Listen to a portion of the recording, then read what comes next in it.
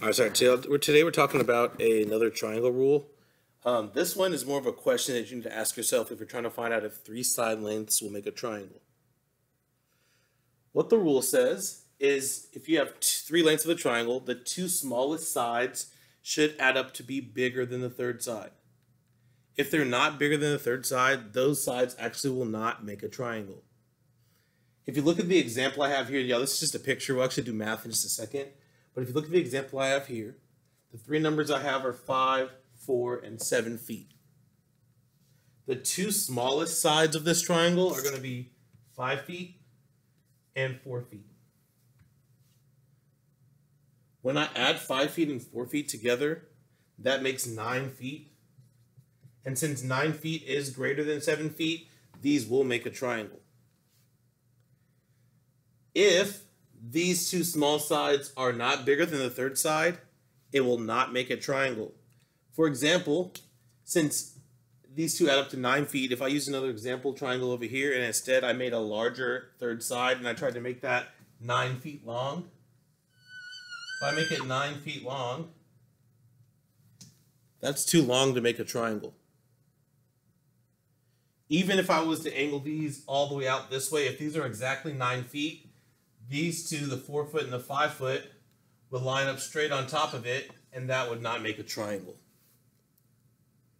So yeah, I'm going to erase these pictures and give you some actual mathematical example we can use if we're trying to find out if the three sides that you're given make a triangle.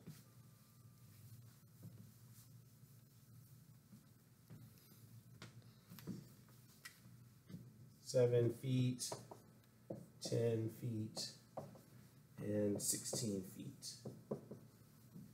So the two smallest sides, sorry if you can't see that because that light, the two smallest sides should be bigger than the third side. So right here, my two smallest sides are 7 feet and 10 feet. 7 feet plus 10 feet is 17 feet. Since that is greater than 16 feet, yes, this would make a triangle. I'm going to use a different color, y'all, so that's a lot of red on there. Add up the two small sides. If they're bigger than the largest side, they do make a triangle. Let me do a couple more examples for you. All right, here's a second example. My two smallest sides for this one are 3 feet and 6 feet. 3 plus 6 gives me 9 feet. But 9 feet is not greater than 10 feet, so this does not make a triangle.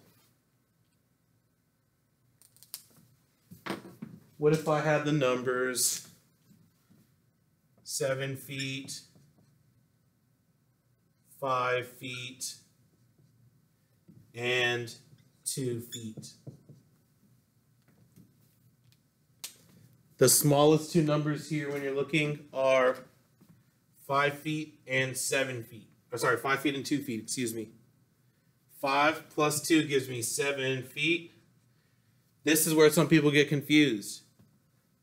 These two, when you look at them, they are the exact same number. Those are equal. Just like in that example I showed before, if you're equal, they're not going to make a triangle. They're going to make a straight line.